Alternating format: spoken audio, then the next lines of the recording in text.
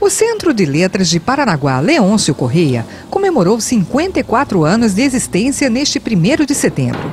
Para celebrar esta data, foi realizada uma sessão solene, presidida pelo senhor Clarício Cardoso. Convidados se reuniram na Casa Elfrida Lobo.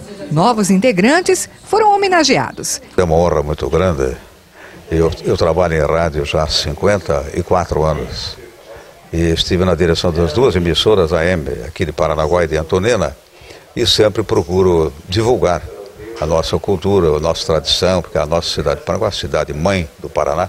Para mim é uma honra muito grande é, receber esse convite, porque eu acho que é uma, é uma prova pelo trabalho que você tem feito em ponto da nossa cidade, sabe? Que eu sempre procuro sempre é, colocar Paranaguá sempre em destaque. Né? Então acredito que seja em função disso que a gente esteja recebendo essa homenagem hoje.